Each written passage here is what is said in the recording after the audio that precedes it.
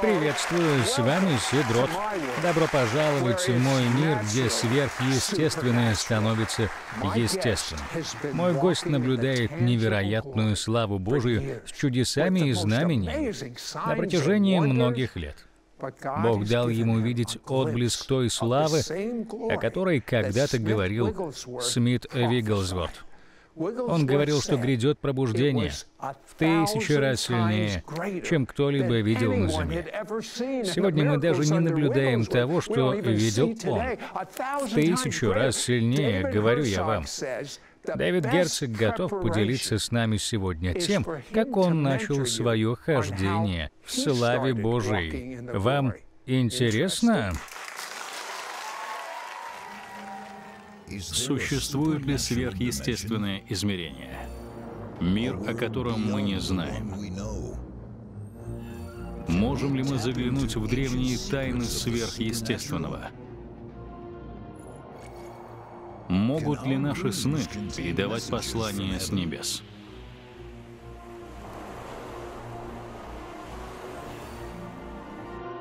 Реально ли чудеса исцеления? Есть ли жизнь после смерти?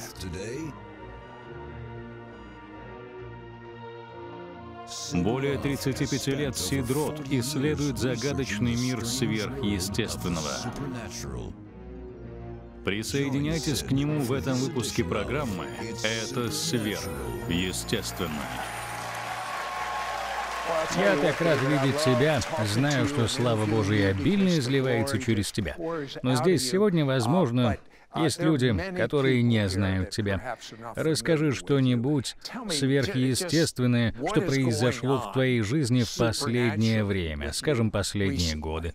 За последнее время я столько всего видел, даже за последние пару недель.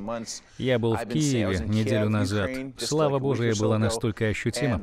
Люди подходили ко мне сами и говорили, у меня дырки в зубах заполнились, у меня исчезли опухоли. Было два человека с диагнозом рак, их привели уже после служения. Они оба выглядели ужасно, словно на волоске от смерти, серая кожа. И когда мы начали молиться, слава Божия явилась нам.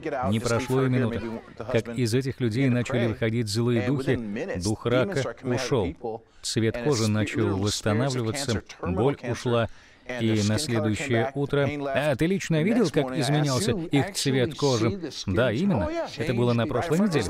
Прямо на моих глазах в офисе пастора. И я смотрю, ее муж подвозил меня в аэропорт на следующий день. И он сказал мне, что она была в такой депрессии. Она вела прославление до болезни.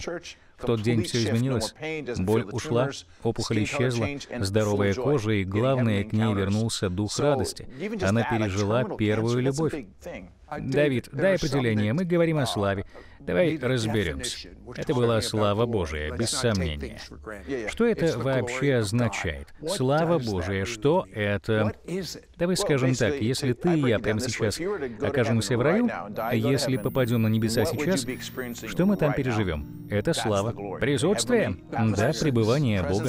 Такая слава, словно ты уже умер и оказался на небесах, но ты жив и переживаешь Его славу. А вот что это. Ты живешь так, словно ты уже на небесах. Это больше, чем просто дары или помазания, какие-то способности. Это слава Божия, наполняющая тебя изнутри и снаружи. Это рай на земле. Мы знаем о славе, и также мы знаем о помазании. А ты можешь объяснить нам разницу между этими понятиями? Конечно. Я много лет служил, так скажем, тяжелым помазанием. Ты молишься за людей, возлагаешь на них руки, ты все это делаешь, и это словно исходит изнутри. Это как батарейка. Ты ее заряжаешь, когда молишься, и потом высвобождаешь заряд. После этого ты часто чувствуешь себя уставшим. Как служитель ты просто истощаешься, да, когда я возлагаю на кого-то руки, я чувствую, словно из меня исходит что-то и переходит на этого человека. Да, именно это по-библейски. Я делал это долгие годы и очень часто уставал. Но однажды, пережив славу, я понял, что она действует вне меня. Божья рука через славу напрямую касалась людей. Мне даже не приходилось возлагать руки на людей. Я просто говорил им поднять руки, и уже Господь прикасался к ним сам без моего участия. А вот так вот, напрямую, сам. А это значит, то есть вся слава достается Богу, да? В таком случае ты становишься простым наблюдателем. Да, именно наблюдателем. Расскажи, что Господь открыл тебе. Это слава, которую ты уже переживал. Но расскажи о той великой славе Божией, которую Он предвестил тебе. Что должно произойти вскоре? Как ты это видишь? Как я вижу, Бог всегда ведет нас из славы в славу, из веры в веру, из силы в силу. Те из нас, кто пребывал во славе годами, были верны. Господь показывает мне, что Он переведет нас в другое измерение. Я спрашивал Его, насколько это велико велико. Он сказал, что это величие не может сравниться ни с одним пробуждением прежних времен. Мы говорим о движении Христа, о Кэтрин Кульман, пробуждении на Азуза-стрит, Сперджен, Смит Вигглсворт, Уэсли. Все эти пробуждения, ничто не сравнится с тем, что грядет. Это будет великое пробуждение всей Земли. Я спросил, как это будет. Он сказал, это произойдет так быстро, что прежде занимало годы, будет происходить в считанные дни. Давид, когда мы вернемся, я хочу, чтобы ты рассказал нам, как ты соприкоснулся со славой Божией, с очевидным пребыванием самого Бога. И снова, все, что Давид может делать, все, что могу делать я, вы можете делать еще лучше. Мы скоро к вам вернемся. Многие из нас могут говорить о чудесах, произошедших в их жизни. Сверхъестественное рядом с нами. Мне 14 лет. Этим утром я смотрела программу об ангелах и почувствовала, как на меня изливается тепло. Я расплакалась. Я болел раком, и Господь исцелил меня. Это настоящее благословение иметь возможность смотреть передачу «Это сверхъестественно» каждую неделю. Если вы хоть раз соприкоснулись со сверхъестественным, присылайте ваши письма на наш сайт sidrot.org org. Это сверхъестественно.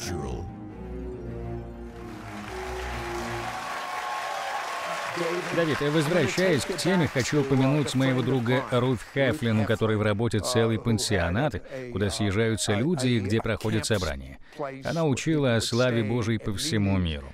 Однажды Давид хотел послушать ее учение о славе Божией на земле. Он приехал туда как наблюдатель, но в стороне он так и не остался. Там произошло что-то очень интересное. Расскажи-ка нам об этом. Я приехал туда сразу после тура «Шесть месяцев пробуждения». Это было великолепно, но я так устал, хотел принять от нее что-то новое. Зашел, это было 2 января 95-го. Зашел и так жажду. Только зашел, как сразу увидел ее на входе. Она сказала мне, ты будешь спикером сегодня? Я ответил, нет-нет, я проповедовал полгода, устал, жажду, я хочу послушать вас. Но она не шутила. Я отстаивал свою неготовность, а она настаивала на обратном. Я сдался и решил прочесть Исаию 61 главу. Слава Божия накрыла меня прямо там, на сцене. Я просто прочитал две главы Библии, и все на этом. Подожди, тебя накрыла Божья слава. А что это означает? Опиши нам это. Да, я как раз собирался. Меня накрыла Божья слава, я начал петь эту главу. Какая-то неведомая сила наполнила меня. Я весь покрылся золотой пылью. Не знаю, что это было. Мое лицо и все тело покрылось позолотой. Я не понимал, что происходит. Это не я пел, это было не мое послание. Я пел «Восстань, светись Иерусалим» и думал, что ты делаешь? Так стыдно было. Это вообще был не я. Жена смотрела на меня, и в этом экстазе я взглянул на Руф. Она улыбалась. Она знала, что я вышел не просто так, что это выход на новый уровень. После этого я еще неделю пребывал в духовной реальности. Я даже не понимал до конца, на земле я или нет. Это было что-то запредельное. Я даже не знал, что такое бывает. Я учил о Божьей славе, но до того момента я никогда не переживал ее на таком уровне. Я не знал, что такое такое возможно. Ездил в туры, насаждал миссии, видел пробуждение, чудеса, спасения. Я знал, что Бог может действовать и как. Но было целое измерение, которое нельзя было сравнить ни с чем этим. Я даже не думал о том, что проповедовать, я просто хотел пребывать в этом, вот и все. Для тех, кто нас сейчас смотрит, Вероятно, они знают Иисуса и рождены свыше, возможно, даже крещены Духом, но никогда не переживали той реальности, о которой ты нам рассказываешь. Что ты посоветуешь им? Как им пережить славу? Не одним словом, но и не очень долго. Ты жаждешь, ты отчаян, возможно, ты засох, ты слушаешь и думаешь, как вообще это возможно пережить. Первое. Я был в отчаянии. Не просто жаждал, я отчаялся. Я говорил в своем сердце, «Бог, если ты не придешь ко мне сейчас, я готов прийти к тебе. Если придется, я жажду тебя». Это отчаяние приводит к близости.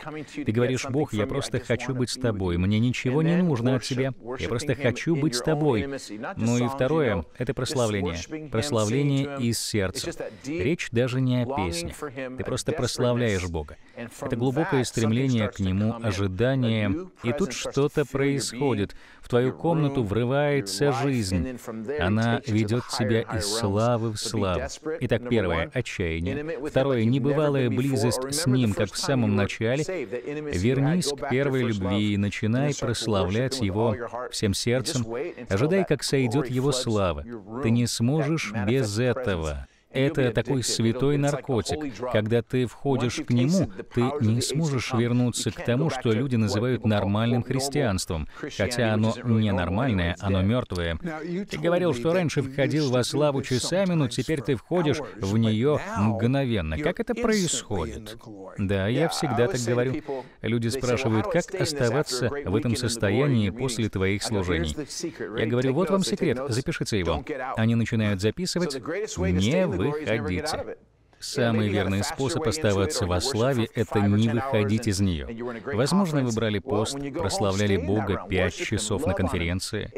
Когда уходите домой, оставайтесь в этой реальности, продолжайте прославлять Его, любить Его.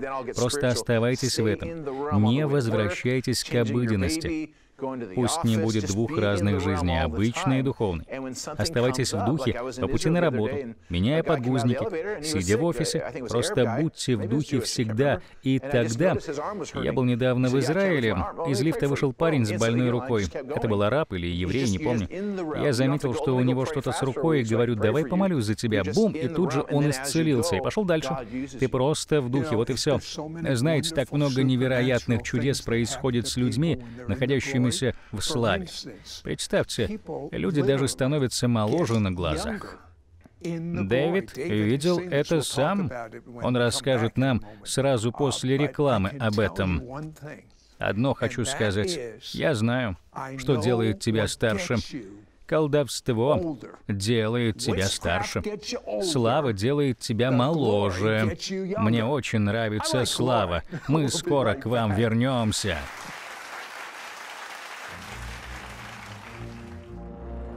Мы скоро вернемся. Это сверхъестественно.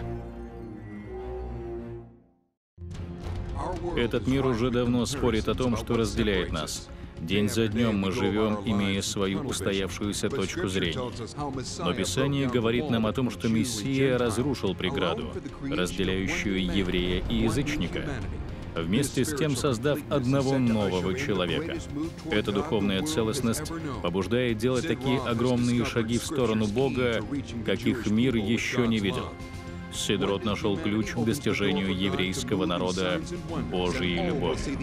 Новое человечество откроет доступ Богу, чтобы двигаться в чудесах и знамениях.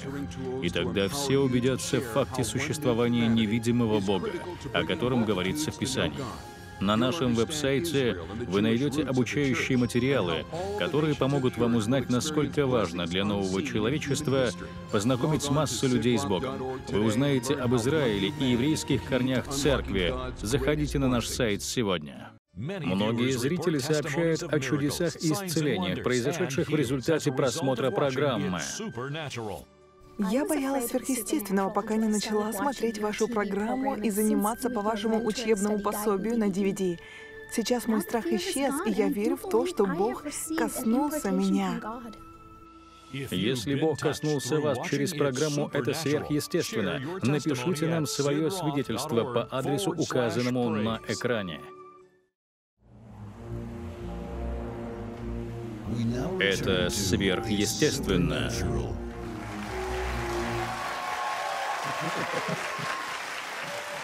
Мы тут шутили сейчас с Давидом, ну, что еще ожидать от двух евреев, когда они вместе? Давид, я помолодел, да? Серьезно? Ты был на служениях, где люди становились моложе.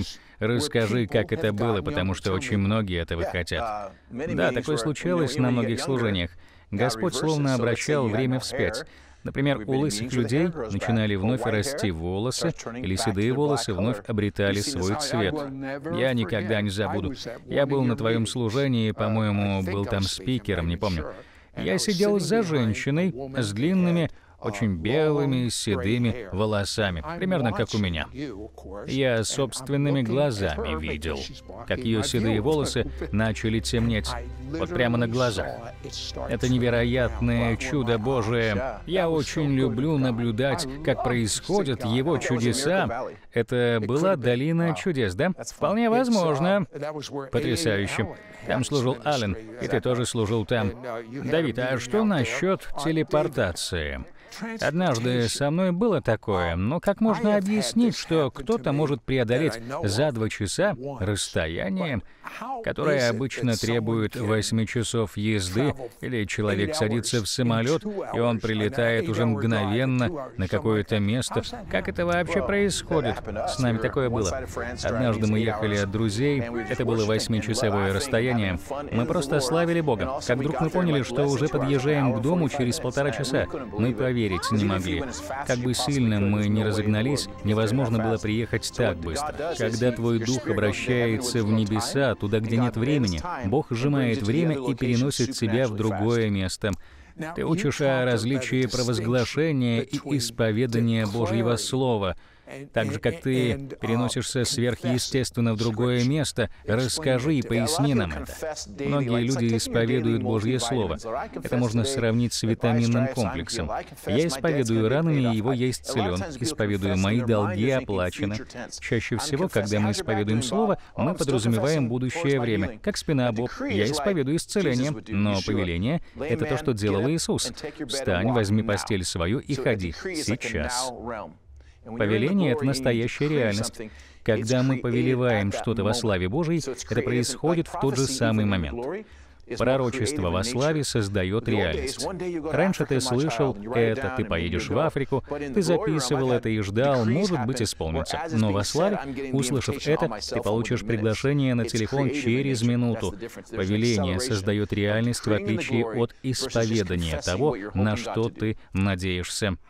Как обычному христианину пребывать во славе Божией 24 часа в сутки. Но, во-первых, вообще не спать, шучу. Оставаться во славе возможно даже во сне. Просто начинать день с Богом и заканчивать его с Ним. Прославлять Его, любить Его, пребывать в Слове, в близости с Ним, просто наслаждаться, вместо действий по привычке. Тогда весь день Он будет с тобой. Он будет с тобой в машине, на работе, на служении, везде. Помнить о том, что Он рядом. Вот секрет, как оставаться в Нем. Просто помнить, что Он рядом. И часто бывает, что ты просто молишься за кого-то, а Бог уже тут. И бум, приходит Его сила. Достаточно просто размышлять о Нем постоянно, и тогда Он будет находиться с тобой постоянно. Здесь есть люди, которые имели отношение к религии. Кто-то воспитывался в Божьем Слове с самого детства, кто-то узнал о нем недавно, но немногие имели опыт действия Мессии внутри себя. Я хочу помолиться с вами сегодня. Мессия, Создатель мира, желает обитать внутри вас. Он избрал вас Поэтому повторяйте сейчас со мной эту молитву. Ее слова очень просты. Скажите, «Дорогой Господь, слух, дорогой Господь, я грешник. Прости меня за все мои грехи.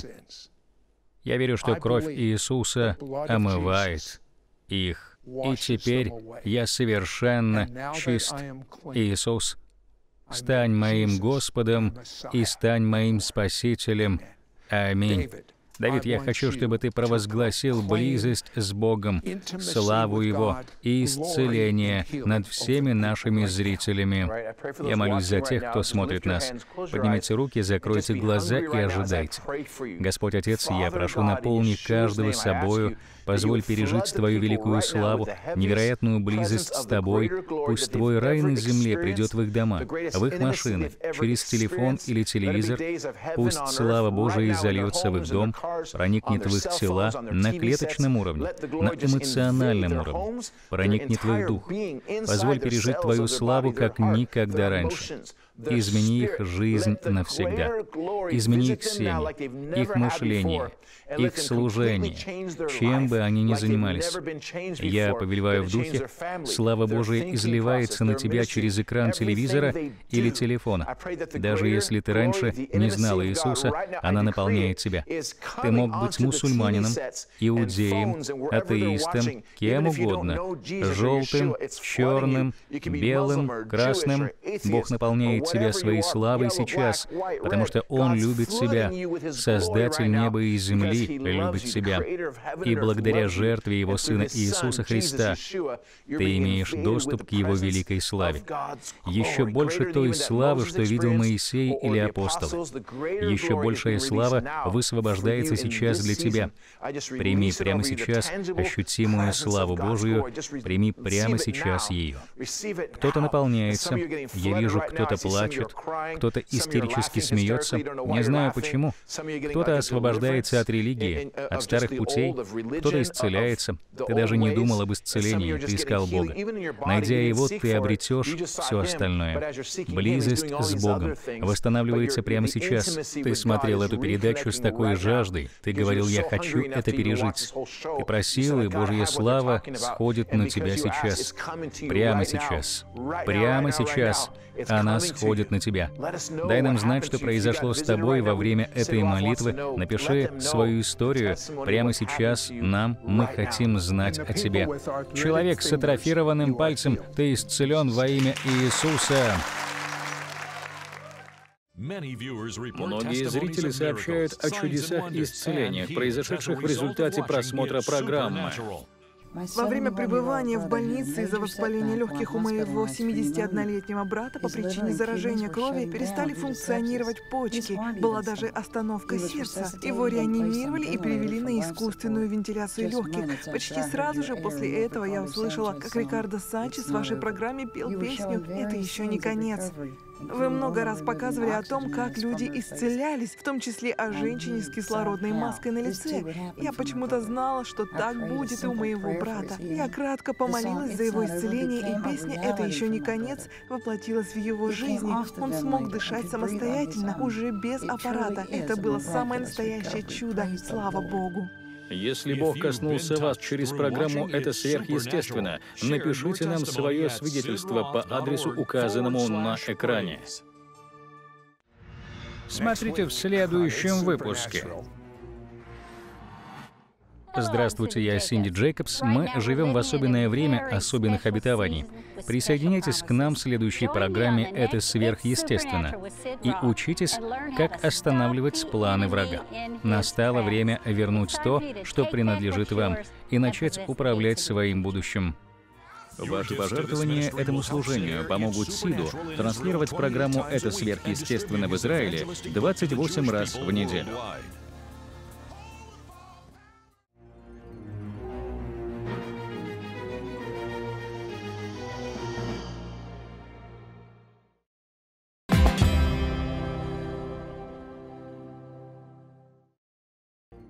У Божьего сверхъестественного нет границ. Теперь нет границ и у вашей возможности получить свой прорыв когда угодно и где угодно.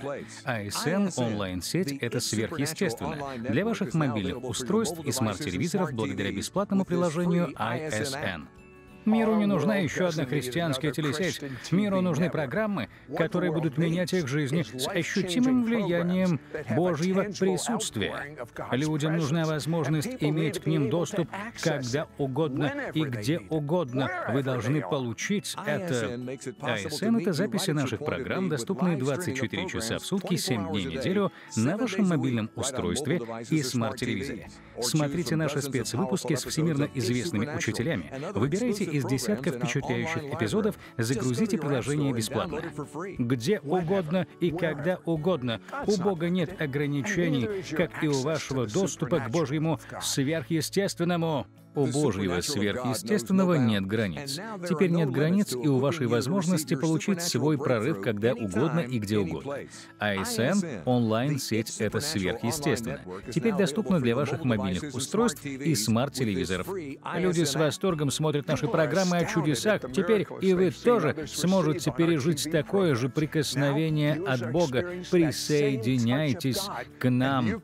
ASN — это записи наших программ 24 часа в сутки, 7 дней в неделю на вашем мобильном устройстве и смарт-телевизоре. Смотрите наши спецвыпуски с всемирно известными учителями. Выбирайте из десятков впечатляющих эпизодов. Загрузите приложение бесплатно. Расписание передач по телевизору рассчитано на наших родителей. С приложением ASN я смотрю их по своему расписанию. Приготовьтесь получить свой прорыв, свое исцеление и свое чудо. Загрузите приложение ASN сегодня.